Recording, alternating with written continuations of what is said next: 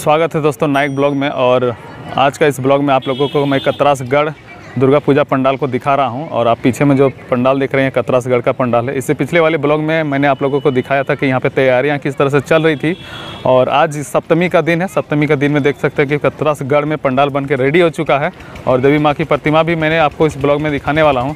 तो उससे पहले आप हमारे चैनल पर नए आए होंगे तो चैनल को सब्सक्राइब कर लीजिएगा, साथ साथ बेलाइकन को प्रेस कर दीजिएगा ताकि हमारे जो भी न्यू अपडेट होंगे वो सबसे पहले आप लोगों तक पहुँच सके। तब बने रहिए हमारे साथ, मैं आप लोगों को पंडाल के अंदर लेकर के चलने वाला हूँ। सो so फ्रेंड्स आप तो देख सकते हैं, ये कतरासगढ़ का व्यू है और कतरासगढ़ का व्यू आपको मैं दिखा रहा हूँ चारों तरफ़ का। और इस बार कुछ ज़्यादा तैयारियाँ नहीं हुई है, लेकिन पंडाल अब बन चुका है और ये रहा कतरासगढ़ का पंडाल का व्यू जो आई थिंक मेरे हिसाब से पूरा धनबाद, अगर देखा जाए तो धनबाद, पूरा धनबाद में सबसे अच्छा जगह कतरासगढ़ मुझे लगा है और इसका पंडाल काफ़ी अच्छा लगा है और आपको मैं पंडाल का व्यू दिखा रहा हूँ। और अभी मैं पंडाल के अंदर आपको लेकर के चलूँगा और आप बने रहिएगा मेरे साथ और मैं अभी पंडाल का व्यू दिखा रहा हूँ। प्लस आप लोगों को मैं देवी माँ की प्रतिमा भी दिखाऊँगा, तब बने रहिएगा हमारे साथ। और डेकोरेशन, उससे पहले मैं दिखाना चाहता हूँ कि किस तरह से डेकोरेशन किया गया है यहाँ पे। आप देख सकते हैं, डेकोरेशन काफ़ी खूबसूरत है यहाँ पे। चारों तरफ़ फूल के झाड़ लगाए गए हैं और काफ़ी अच्छा लग रहा है। देख कर के आप लोगों को भी आई होप कि अच्छा लग रहा होगा।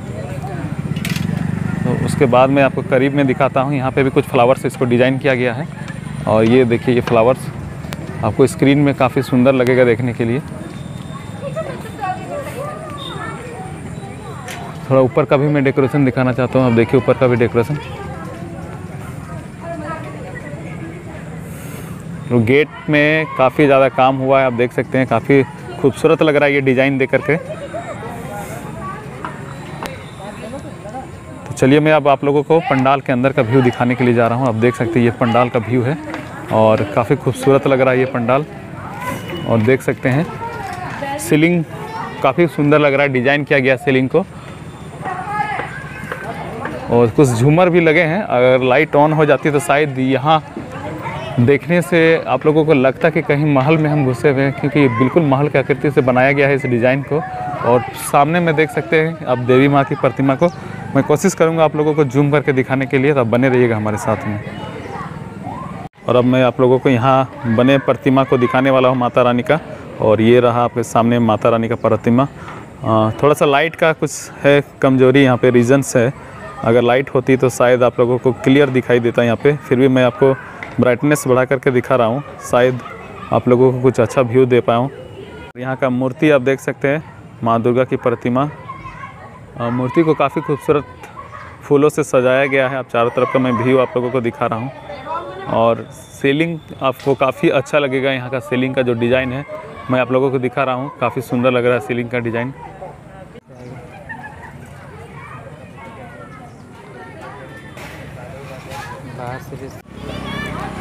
एक बार फिर से मैं यहाँ के खूबसूरत डिज़ाइनों को दिखा रहा हूँ, जो पतझड़ के पेड़ के जैसे इस डिज़ाइन को बनाया गया है, काफ़ी खूबसूरत लग रहा है ये फ्लावर्स।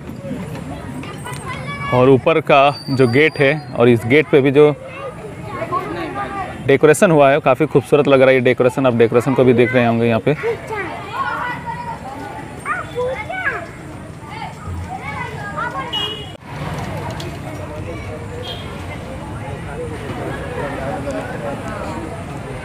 सो दोस्तों, आप देख सकते हैं कि माता रानी के जो भक्त हैं ना, भक्तों का आना यहाँ पे शुरू हो चुका है दर्शन करने के लिए माता का।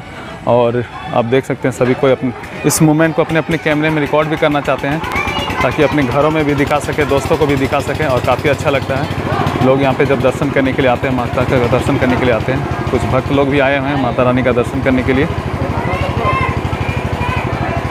सो फ्रेंड्स लाइटें ऑन हो चुकी है और आपको मैं यहाँ का लाइट का नज़ारा दिखाना चाहता हूँ कि किस तरह से लाइटों से जगमगा उठी है ये पंडाल। और मैं आपको पंडाल के करीब भी लेकर के चल रहा हूँ और कुछ सेल्फी फुटेज भी लिया जा रहा है यहाँ पे। इस मोमेंट को कैद किया जा रहा है ताकि यादगार पल बन जाए। और आप देख सकते हैं माता रानी का दरबार, माता रानी का प्रतिमा, हम देखिए कितना अच्छा लग रहा है लाइटिंग से जब ये माहौल सज जाता है तो कितना अच्छा लगता है देखने में। आप देख सकते हैं कि चारों तरफ़ का व्यू नज़ारा कितना खूबसूरत लग रहा होगा आप लोगों को।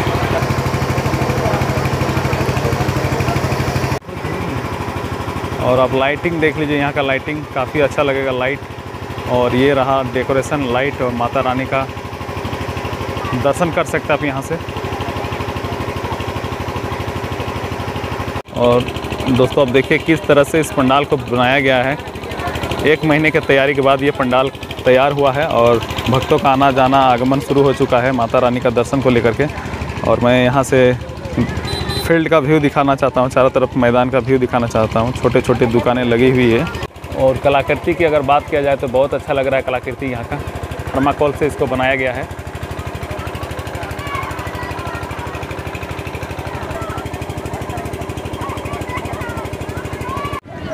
सो so, दोस्तों कैसा लगा आप लोगों को कतरासगढ़ का पंडाल का व्यू अगर अच्छा लगा हो तो वीडियो को लाइक ज़रूर कर लीजिएगा इस वीडियो को ज़्यादा से ज़्यादा शेयर अवश्य करें क्योंकि बहुत सारे लोग हैं जो कतरासगढ़ नहीं आ सकते हैं तो उनके लिए आप शेयर करें ज़रूर ताकि वो घर बैठे भी कतरासगढ़ का वीडियो का आनंद ले सके माँ दुर्गा का दर्शन कर सके माता रानी का दर्शन कर सके। अगर वीडियो पसंद आए तो वीडियो को लाइक कर लें और कॉमेंट करके हमें ज़रूर बताएँ कि वीडियो कैसा लगा और हमारे चैनल पर अगर फ़र्स्ट टाइम आए होंगे तो चैनल को भी सब्सक्राइब कर लीजिएगा। तो चलिए दोस्तों जल्द मिलेंगे एक न्यू ब्लॉग में माता रानी के ब्लॉग में। तब तक के लिए अपना ख्याल रखें। जय हिंद जय भारत जय झारखंड। जय दुर्गा माता.